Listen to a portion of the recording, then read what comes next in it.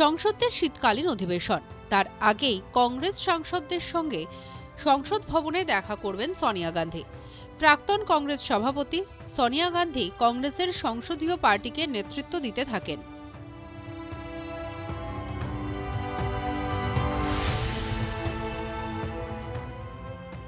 জানা গিয়েছে, এই শীতকালীন অধিবেশনে কি কি ইস্যু নিয়ে শাসক দলকে কাঠগড়ায় দাঁড় করানো হবে, তার রূপরেখা তৈরি হবে। বৃহস্পতিবার সকাল দশটা পনেরো মিনিট নাগাদ তিনি বৈঠকে বসেছেন।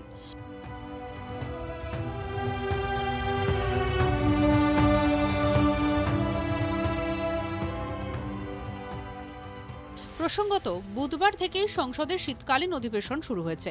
বুধবার একাধিক ইস্যু নিয়ে বারবার উত্তপ্ত হয়েছে কংগ্রেসের দুই কক্ষ। বুধবার অধিবেশনে বিরোধীরা স্ট্যান্ডিং কমিটির চেয়ারম্যান পদে তাদের প্রতিনিধি রাখার দায়িত্ব তুলেছিলেন। এছাড়াও মূল্যবৃদ্ধি সহ একাধিক ইস্যু নিয়ে বুধবারের অধিবেশনে লোকসভা বারবার উত্তপ্ত হয়ে উঠেছে। বারবার মুলতুবি হয়েছে অধিবেশনও।